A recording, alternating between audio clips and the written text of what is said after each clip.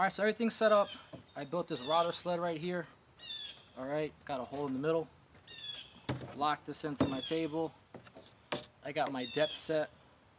So it's gonna just basically go in here. What I'm gonna do is go back and forth and keep sliding this down like that as I go back and forth. It's gonna take some time, probably do about an eighth inch at a time. Now this particular bit right here, $185 for just that bit. So you wanna be a carpenter and do woodworking, you better get a good daytime job. So that's what we're doing right now. Um, let's get